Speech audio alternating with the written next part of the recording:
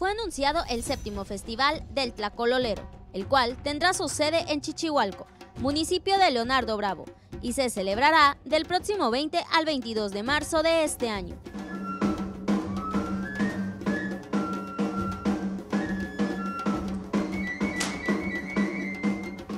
Y hoy en día estamos celebrando la séptima edición del Festival del Tlacololero. ¿Qué es el Festival del Tlacololero?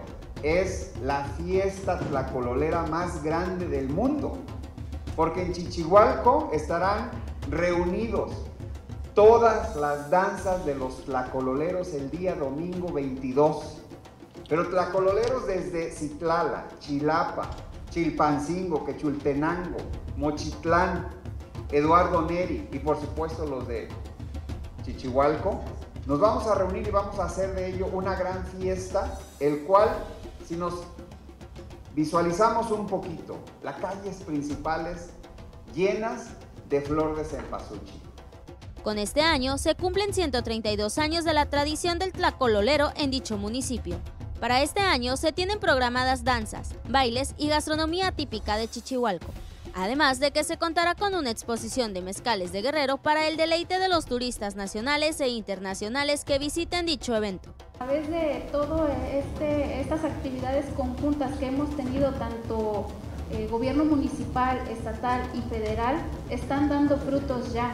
¿Por qué? Porque este festival está llegando a oídos ya no nada más este, de todo México, sino internacional, como ya lo dijo mi compañero Rafa, ya nos tienen confirmada la visita de, algunos países y pues para nosotros es un orgullo poderles dar a conocer, poderles mostrar un poquito de lo que tenemos en, en Chichihualco, en Leonardo Bravo. Gobernadora, la maestra Evelyn Salgado, pues ha sido que el, el turismo se vea inmerso en otras actividades, no solamente eh, como un generador de negocios, sino también como un generador de bienestar para nuestro Estado, es por eso que el secretario Santos Ramírez nos encomendó darle puntual seguimiento a este festival y que sobre todo podamos eh, decirle al mundo que Guerrero no nada más es Tasco, Iztapas, Guatanejo y Acapulco.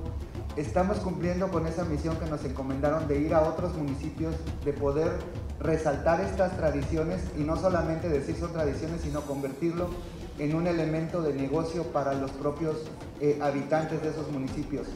Yo